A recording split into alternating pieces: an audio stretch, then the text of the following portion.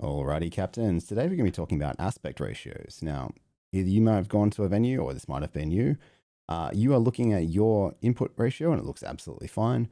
But then you turn and look at the LED wall, and all of a sudden your circles are no longer circles. Uh, anyone that knows me will know that's the one thing I fear the most uh, non circular circles. So today we're going to be uh, looking at a simple plugin I built in Wire that'll help you achieve circles again. And that wire is called Fix Your Aspect Ratio version 2. Now let's just apply this into an open layer and see what it does. So looking at the uh, parameters of this effect. We have LED resolution X, so say we can something like 240, and LED resolution Y, we can say 480. Uh, we've got a flashing rate and two colors. Now that's just so we can switch the colors up. Um, ignore this side for now. Now the first thing this um, plugin does is it puts flashing bars in places in our composition where we are not should not be sending to an LED wall. The next thing it does is it gives us a set input to. Now this value here is taking the resolution of the LED wall and scaling that up so it fits best within your current composition. So right now my composition is 1920 by 1080. And this is saying, all right, the largest I can scale it in vertical is 1080. So the largest I should be going Y is 540. Now I'm going to reset this back to the values I had at the start because this is for this setup. So 1280 by 512 is the resolution for the LED wall at Red Room.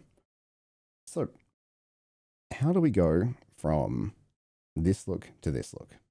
Now, the first way it would be obviously to go into our advanced outputs or advanced output. And then here on our screen one, slice one, Instead of picking up the entire of the 1920 by 1080, we can then shrink it down to conveniently it says this number right here.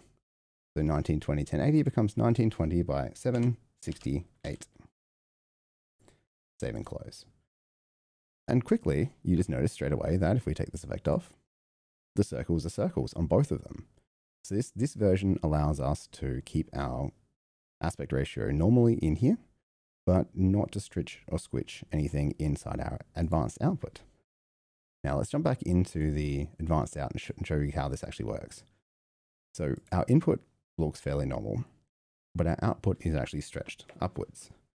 Now, a lot of the time you'll find this sort of squished look effect inside of LED walls where the LED output is basically just squashing the entire 1920 down into whatever resolution is available there. Um, this is not how I would program an LED wall, but a lot of venues do actually run their sender cards like this. So this is the best way I can find to do it. Now, say for example, we didn't want to mess around too much with the advanced input mapping. So I'm just going to reset this back the way it was. So I'm going to say the input is actually taking the entire output there. Now, inside of our output, this is what we'd be seeing on our LED wall. We can actually come down to our composition and go to our effects here. I would search for transform.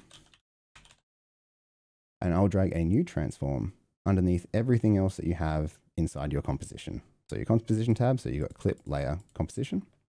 Underneath all of your other effects, drag a new transform, go to the scale, drop down the little arrow, and here we can adjust the vertical scale and you can adjust it fine with fine tune by just clicking it back and forth. And what we're to do is use those flashing bars just to scale it up enough that it's no longer to have those flashing bars.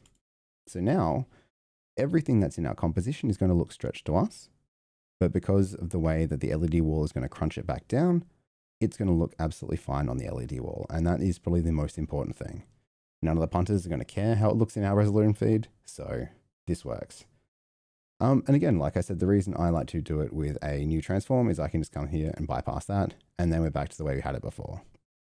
So the two ways that we described here of doing it were coming into applying the aspect ratio effect, looking at the new input map it's telling us to do, going to our advanced output.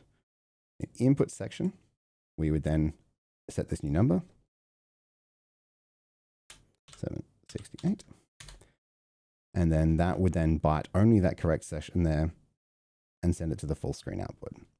Realistically, what we would love to see is this would actually be set to 1280, 768. Oh, sorry, 512. And you can see here, even if it is put back to the way I would normally have an LED sender, it is still in perfect aspect ratio as opposed to it being squished and horrible. So yeah, that is how I would go about fixing the aspect ratio inside of your arena file. Hope this makes sense, and I look forward to not seeing any more ovals on screens from now on. Have a good day.